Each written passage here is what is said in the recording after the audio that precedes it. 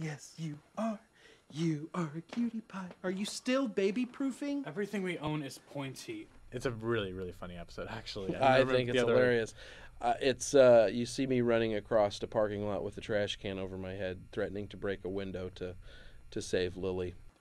Why is our daughter dressed like Donna Summer? She's not Donna Summer. Clearly, she's Diana Ross from the RCA years. We take Lily to the pediatrician Right. for the first time. We've bumped her head on, on a door jamb. It's been slightly protected by an afro wig. Yes, Just hold your daughter. They're like Bert and Ernie. that's so funny. Yeah, you're Bert, I'm very kind of staunch and serious. and I'm a little more breezy, I would say. Because people are saying that kids really respond to our characters, and I think that's because we're like Bert. Or Yeah, we're and Ernie. yeah we're uh, yeah. The kids do. And kids they live together, kids are as, as did Bert and Ernie. They did live together. Hmm, suspicious. Interesting. See? Fun, right?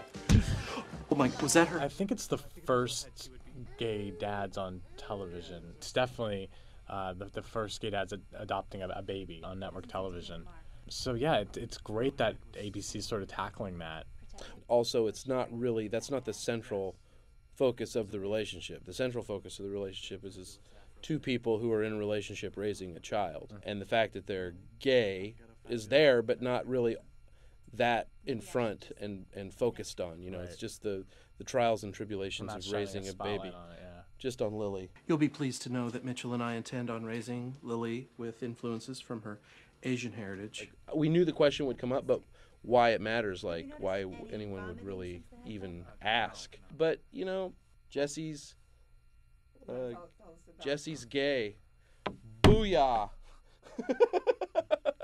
Eric's gay for pay. What? I'm sorry? Gay for pay. they call me gay for pay Yeah. I guess I'm somewhat of a shutterbug. Um, and my new favorite model, of course, is Lily. I just completed uh, a series of photographs of her dressed as various pop icons. Let's see, I've done uh, Olivia Newton John, I've done Madonna, the early years, Stevie Wonder. Yeah, there are days when Lily has more costume changes than Cher. Cher, how could I forget Cher? That's embarrassing. That's embarrassing.